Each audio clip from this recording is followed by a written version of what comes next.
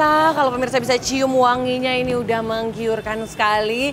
Saya sekarang sudah berada di Pisang Goreng Bu Nani, pisang goreng madu yang paling hit sejabodetabek. Dan ikutin keseruan saya karena sebentar lagi saya akan langsung masuk dan juga bisa akan bertemu langsung bersama dengan Bu Nani ya. Yuk. Pisang termasuk buah yang sangat mudah diolah dengan berbagai macam cara. Salah satu olahan pisang yang disukai banyak orang ialah pisang goreng. Bagian pisang goreng buatan Indonesia dinobatkan sebagai gorengan manis terfavorit di dunia versi Taste Atlas tahun 2022 dengan perolehan skor 4,6 mengungguli Quarkball Chain dari Jerman, Pastelitos Criollos dari Argentina, serta Kakia dari Yunani yang memiliki skor 4,5.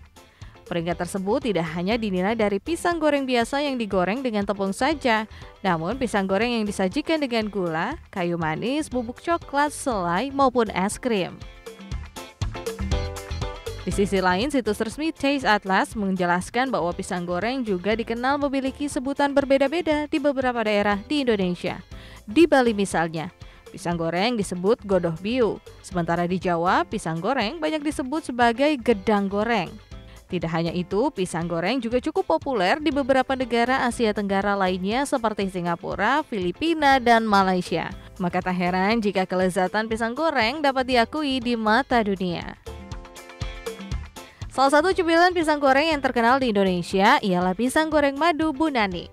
Pisang goreng buatan Bu Nani Sulistiowati ini telah menjadi jajanan favorit di kawasan Jabodetabek. Alhasil pada tahun 2017, usaha pisang goreng Madu Bunani mendapat predikat sebagai merchant GoFood terlaris. Pisang goreng Madu Bunani juga mulai berekspansi ke sejumlah daerah di luar Jabodetabek, bahkan ke negara tetangga Thailand. Lantas, bagaimana kisah sukses manisnya cuan pisang goreng madu ala Bunani? Simak perbincangannya hanya di Women's Talk.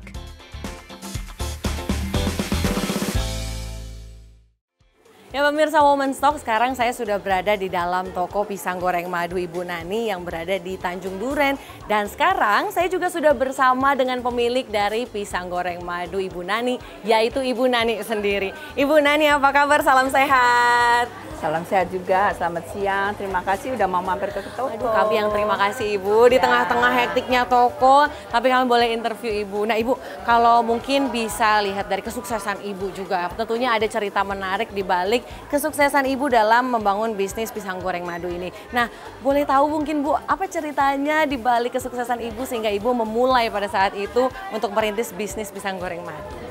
Awalnya itu tanpa sengaja karena saya memang bidangnya dari catering. Saya melayani beberapa hotel sehari itu sampai 1.200 sampai 2.000 orang, 6 sampai 7 hotel. Dan kita banyak menggunakan ya menu utama, menu pendamping, buah gitu kan. Ada salah satu buahnya itu pisang. Kadang kita udah menyajikan buah pisang itu dengan ditata bagus, dibungkus tisu, ditaruh di inset rapi. Tapi karyawan hotel kalau lihat dibuka tisunya ada yang kulitnya hitam-hitam mereka nggak mau ambil. Kalau saya dibuang kan sayang. Saya olah jadi sale. Kadang saya bikin pisang goreng. Kadang saya bikin nagasari. Kalau kita olah makanan itu dengan memakai gula, kebetulan ibu saya penderita diabetes. Jadi kalau misalnya bikin pisang goreng, ibu saya paling suka tuh pisang goreng di antara snack yang lain. Kalau dikasih gula, gulanya jadi tinggi, jadi high. Akhirnya kita kebiasaan minum lemon sama madu setiap pagi. Saya coba adonan kita goreng nggak pakai gula, dia nggak suka. Kita kasih madu sedikit karena pisang itu kalau kita lagi sibuk catering, nggak diolah hari ini, lusa atau besoknya tuh baru diolah benar-benar sudah mateng, yang airnya banyak. Nah itu dikasih madu sedikit aja, gorengannya malah jadi lebih bagus, lebih crispy. Luarnya crispy, dalamnya melted. Nah, ibu saya suka sekali. Dari situ saya coba keluarin ke hotel untuk snacknya. Uh, setiap kita menu baru, menu utama atau menu pendamping atau snack atau es, pagi itu kita mau briefing, kumpulin karyawan semua. Gimana Mbak uh, menu yang baru disajikan? Bu, kalau pisang goreng jangan dikeluarin ya Bu katanya pisang gosong kok dikasih orang katanya oh, gitu. Ya udah, lihat penampilannya kan seperti gosong itu. Padahal itu dari proses karamelisasi dari madu dan e, minyak digoreng itu. Saya dikasih gerobak sama temen saya sajikan, saya potong-potong untuk tester yang lewat. Bu, Pak, silahkan coba, Kak, silahkan coba. Hmm, pisang gosong. Pada mencibir semua, tapi sekarang gilirannya dicari orang, tidak dicibir lagi karena setelah merasakan uh, pisang goreng madunya itu. Jadi pisang goreng madu paling populer sejabodetabek pemirsa IDX Channel ini. Jadi bahkan orang rela-rela datang untuk beli pisang goreng madu Bu Nani ya. Padahal berawal dari iseng ya Bu, ya. tadi dari catering. Padahal cateringnya yang paling besar tadinya saya. Jadi Tapi, mungkin pemirsa kadang kalau lihat pisang goreng Bu Nani warnanya hitam bukan pisang gosong ya Bu Nani ya. Judulnya tagline-nya si hitam manis. kalau pisangnya tuh abadi. Kalau ibunya mudanya hitam manis, tuanya tinggal hitamnya manisnya hilang. Tetap glowing tapi Bu. nah, berarti hitamnya itu karena tadi kata Bu Nani uh, ada proses karamelisasi, proses karamelisasinya ya. madu sendiri ya. Jadi justru itu yang menjadi keunikannya pisang goreng madunya Bu Nani dari awalnya orang mencibir ya Bu. Tapi waktu awal-awal merasa ada kesusahan nggak Bu? Maksudnya kayak uh, waktu awal-awal apa Pastilah. sih tantangannya Bu? Bisnis saya mulai dari nol, saya terjun sendiri. Orang ditawarin dicibir, pisang gosong. Kita kasih di tester, digunting-gunting. Kalau saya bayar iklan pasti nggak kuat. Iklan TV kan tahu sendiri, budgetnya tinggi. Saya kalau ada pengajian, ada persekutuan, ada apa saya selalu bawa. Bahkan saya bikin fotokopi, saya kalau Jumat kasih di wiper wipernya mobil. Kalau minggu saya di gereja, kalau ada kebaktian di Wihara Kelenteng, saya naik motor sendiri, saya selip-selipin itu. Bawa sendiri, Bawa Bu. motor, iya. Nah, Susah dengan jerih payah. Kalau saya nggak ulet, nggak seperti sekarang hasilnya. Pada tahun berapa Bu pada saat itu? Itu masih sekitar 2006-2007. Nah Ibu kalau melihat uh, istilahnya industri makanan di Indonesia Bu, makanan kan mungkin ya kosnya juga tinggi bagi pebisnis di luar sana. Menurut Ibu potensinya besar nggak sih Ibu buat Indonesia? Sangat besar sekali. Saya empat kali diundang staf kepresidenan. Dua kali untuk membicarakan pengalaman pribadi, dua kali untuk upacara bendera, menaikkan bendera sama petutupan. Yang pertama itu di Bumi Salawah Sidoarjo yang kedua di Sabuga Bandung, Pak Jokowi hadir itu. Sampai saya ada fotonya, ditanda tangan juga Pak Jokowi. Saya di Bumi Salawa itu e, memberi inspirasi kepada anak-anak di di ya, pantinya itu sekitar 600 orang. Saya bilang, kamu nggak perlu modal besar di Surabaya, di Sidoarjo itu kan ada genjer. Genjer itu daunnya kan bisa diolah, direndam, dikeringin, serat-seratnya itu kan bisa dilukis buat selipan Quran atau genjernya diolah. Maksudnya dengan bahan yang uh, modal murah, anak-anak bisa memulai usahanya. Ah, ini mematahkan satu istilahnya persepsi yang kadang suka dilihat ah kalau bangun bisnis butuh modalnya gede dulu, banyak takutnya. Tapi enggak juga pemirsa ternyata Bu Nani sendiri adalah bukti nyata bahwa dari ide sederhana ya Bu bahkan berawal dari keluarga sendiri. Ah pikir kemarin untuk saya kalau diundang di iya. Jakarta ya. itu mulai memotivasi kelor. Kelor itu kan anti CA bagus sekali. Sekarang sudah mulai dibikin puding. Ada dibikin keripik, Iya, saya suka diteng-teng sama Pak Wali itu jadi narasumber untuk UMKM dan saya selalu bersedia dan banyak produk UMKM yang dititipkan di sini. Saya juga membantu untuk menyalurkan. Ya, kita lihat juga pemirsa kalau uh, di toko yang sekarang ini pisang goreng madu Bunani yang di Tanjung Duren, ini bukan hanya pisang goreng Bunani saja yang dijual, tapi di stall-stallnya ini ada juga produk-produk UMKM yang bekerja sama dengan Ibu Nani. Ini jadi bentuk uh, kerjasama Ibu bersama dengan UKM, uh, UMKM UMKM UMKM di Kota Jabodetabek ya Bu ya. Betul, betul banyak bukan hanya barang yang keripik semuanya ada yang dari sepiku ada bolu banyak sekali. Kalau saya sih untuk jualan pisang aja mungkin kalau orang datang ke sini yang nggak doyan pisang kan nggak mau beli. Kita kalau sekarang mempunyai bisnis tuh harus bisa jeli melihat peluang situasi.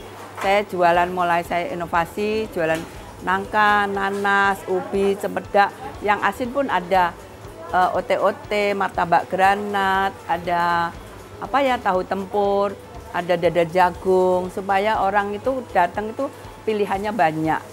Jadi nggak satu pisang aja yang kita jual. Jadi meskipun sudah sukses dengan pisang goreng madunya, tapi Bu Nani terus melakukan inovasi, cari menu baru juga, cari variasi baru juga ya. Nah ini menarik sekali, kita akan bahas lebih dalam tentang pisang goreng Ibu Nani sesaat lagi pemirsa. Tetaplah bersama kami di Women's Talk.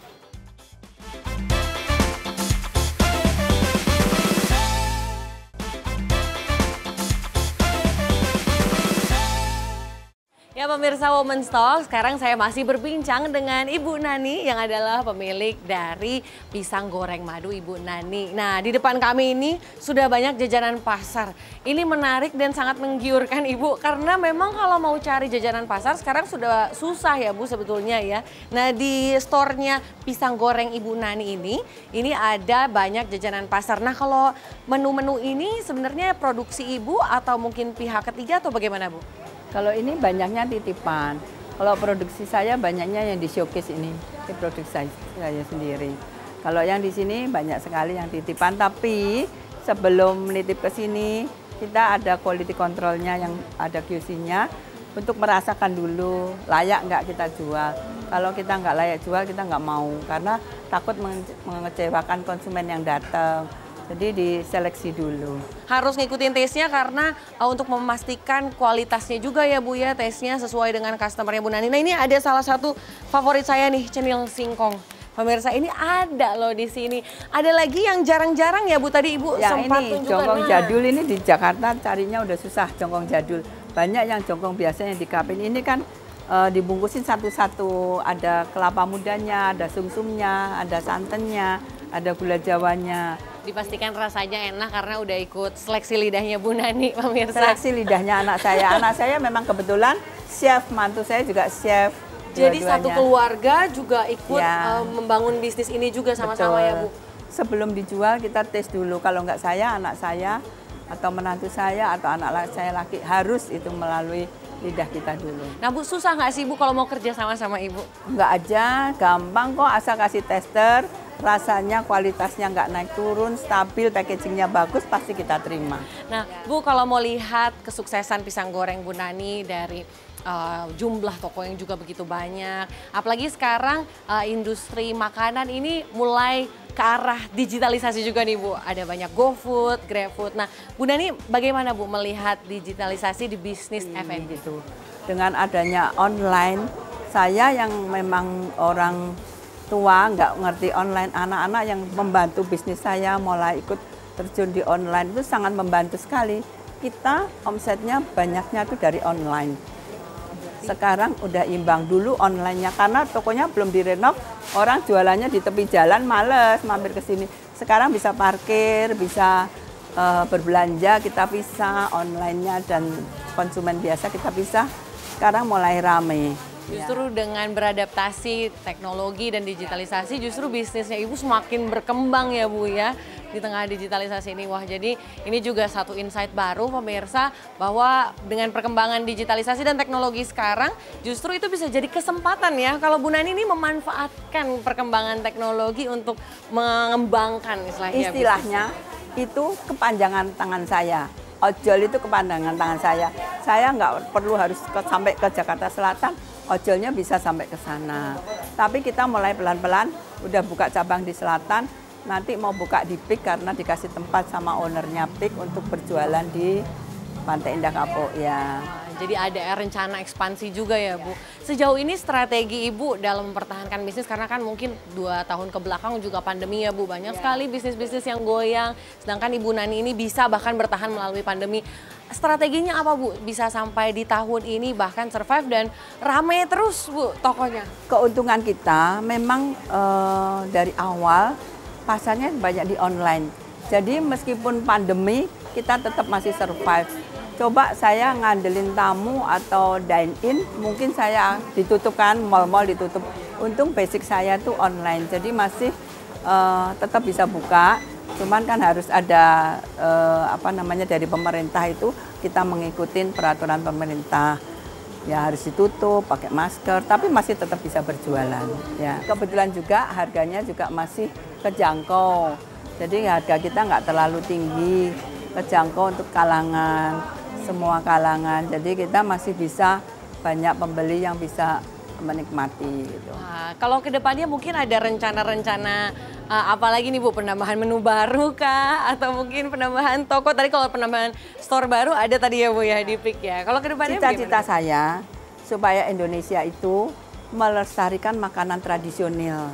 Jangan kita itu hanya import makanan meng, apa ya mengkopi makanan-makanan yang dari luar. Kalau bisa banyak sekali peluang uh, dari pertanian, peternakan itu yang bisa diolah untuk disajikan dengan bagus, bisa diekspor. Contohnya dalam penilaian mungkin uh, saya juga nggak tahu dikasih WA teman-teman pisang goreng tuh jadi dessert nomor satu di dunia bukan bukan hanya pisang goreng madu aja ya, maksudnya pisang goreng seluruh Indonesia itu jadi dessert nomor satu di seluruh dunia. Ngalahin churros, ngalahin donat. Nah berarti kan itu bisa kalau dimanfaatkan bisa menjadi peluang untuk ekspor kan. Jangan kita uh, jiplak import-import yang dari mana-mana negara yang mulai ngetren. Kalau bisa Indonesia tuh mulai mempersembahkan makanan tradisional tapi diolah dengan kemasan yang bagus, rasa yang berbeda supaya dilirik dari negara-negara tetangga dan negara-negara seluruh dunia. Karena makanan tradisional Indonesia itu gak kalah enaknya, gak kalah kerennya ya Bu ya. Kalau istilahnya mau diekspor, ada potensinya bahkan bisa di bisa juga diterima lidah di luar ya Bu. Cuma perlu ya itu tadi kualitasnya ya, ya Bu. packagingnya harus bagus. Packagingnya juga. Ya. Menarik sekali tadi kita udah dengar sedikit cita-citanya Bu Nani ini ke depannya. Nah pemirsa jangan ke mana-mana karena sebentar lagi kita akan membahas lebih dalam tentang sosok Bu Nani sendiri sendiri, tetap bersama kami di Momen Stop.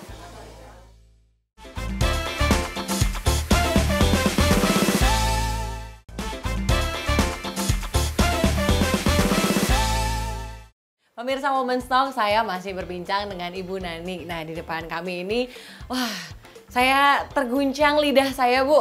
Karena ini nikmat sekali. Kalau di depan kita ini ada asin dan juga yang manis ya Bu ya. Nah, ini produk asin, ini produk manis ya. Nah ini yang paling favorit ini, yang paling dikenal ini memang pisang goreng madunya Bu Nani. Saya tuh tadi pemirsa sempat tanya di belakang layar sama Ibu, Bu kenapa bentuknya warna, eh, bentuknya bulat Bu? Awalnya kita buat itu seperti peyek, dicetak di wajan gitu seperti peyek.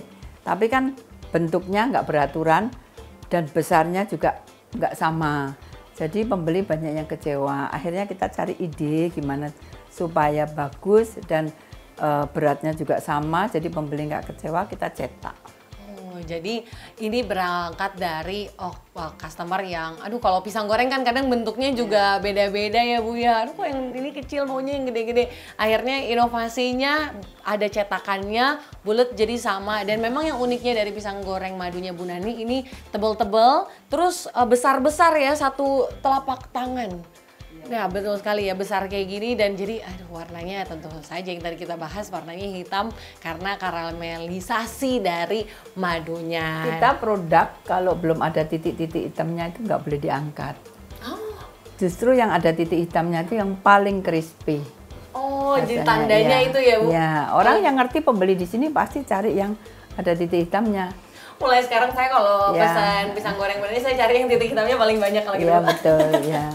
Nah Bu, tadi kita sempat uh, segmen sebelumnya bicara terkait uh, apa yang jadi kerinduannya Bu Nani. Tadi Bu Nani juga sempat cerita cita-citanya Ibu.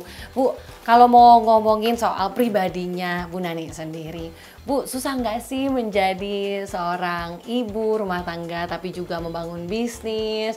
Ada tantangan tersendiri nggak Bu sebagai sosok seorang perempuan yang menjalankan bisnis Bu? Kalau semua dijalanin dengan senang hati sebetulnya nggak ada kesulitan kita bisa membagi waktu antara anak dan pekerjaan itu harus. Soalnya uh, di sisi lain ibu itu diperlukan juga untuk uh, mencari tambahan untuk keluarga. Tapi anak juga harus nomor satu. Jadi kita harus pintar-pintar membagi waktu. Saya mau ketemu Pak Presiden sama Pak Wali Kota Jakarta Barat nitip pesen.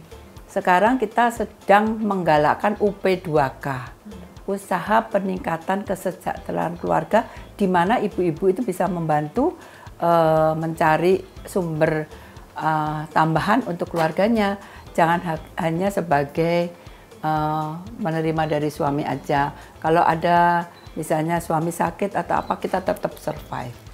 Jadi juga memberdayakan perempuan karena meskipun ya itu tadi tanggung jawabnya juga tanggung jawab keluarga yang bukan uh, hal yang kecil ya Bu ya dan itu tetap jadi prioritas utama tapi di satu sisi juga mengembangkan bisnis, mengembangkan usaha, kemampuan itu juga jadi tanggung jawab perempuan juga ya tidak lepas dari kita sebagai sosok perempuan. Nah, apalagi zaman sekarang usaha lebih memudahkan daripada zaman dulu. Kalau kita mau berbisnis harus mencari lokasi, harus sewa ruko, modal banyak. Sekarang bisa kita membuat di rumah by PO, order melalui PO bisa. Itu lebih memudahkan untuk uh, sebagai wanita berbisnis di rumah, mengawasin anak, bisa mendapatkan uang, bisa memproduksi di rumah, nggak perlu keluar. Apa yang membuat Bu Nani ini semangat Bu selalu inovasi terus inovasi karena kan itu mungkin bukan hal yang mudah ya Bu. Apa Bu yang apa ya biar kita juga punya semangat yang sama Bu? Itu suatu apa namanya kalau kita bisa menghasilkan, apalagi disukai orang tuh mempunyai kepuasan tersendiri. Saya kalau misalnya suruh duduk diem rasanya sehari itu lama, nggak betah. Biasa bekerja, kita suruh duduk manis itu nggak bisa. Dan kita juga seneng kalau misalnya bisa memuaskan pelanggan itu mempunyai suatu kesenangan tersendiri bagi saya. Saya selalu masih sapa pelanggan, masih melayani tamu, meskipun paginya masak, kita nggak hanya di balik layar enggak. Saya nyapa. Jadi tahu uh, komplainnya apa, ada masukan untuk kita untuk membangun usaha kita lagi lebih maju lagi. Ibu punya gaya kepemimpinan tersendiri nggak Bu? Dari Ibu mendirikan bisnis atau ada istilahnya gaya kepemimpinan yang unik dari Ibu ke karyawan gitu Bu sampai akhirnya pisang goreng Bu Nani ini sebesar ini dengan jumlah karyawan yang cukup banyak juga Bu? Kalau saya karyawan sudah saya anggap keluarga sendiri mereka kerja di sini ada yang udah 45 tahun sejak ikut ayah saya. Lebih mungkin sekarang. Ya, ada yang 22 tahun, ada yang 18 tahun, ada yang 7 tahun. Banyak sekali yang lama. Malah tahun ini saya umrohin, akan umrohin tiga orang lagi. Yang dua sudah saya umrohin. Nanti kalau anaknya udah kuliah, ini lulus kuliah, dan dia udah bekerja, saya akan umrohin sama anaknya. Yang tiga ini udah 20 tahunan. Jadi saya akan kirim umroh. Cuman mereka suratnya belum siap lagi guru surat-suratnya. Ya kita mereka rumah udah punya, tabungan rumah udah punya, bangun rumah udah ada. Untuk hari tuanya saya pikir apa yang bisa terkesan bagi mereka ya saya kirim ke umroh. Kalau yang Kristen kita kirim ke Yerusalem gitu ya ini saya tersentuh Bu mendengarnya karena ini jadi satu nilai tersendiri ya. Dari... Karena sudah dianggap keluarga ya Mbak. Lagian saya dipanggil yang di atas juga nggak bawa apa-apa.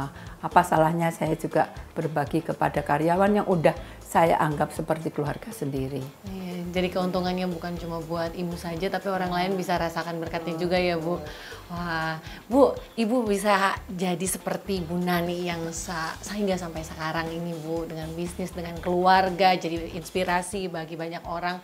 Ada moto hidup yang Ibu pegang nggak Bu?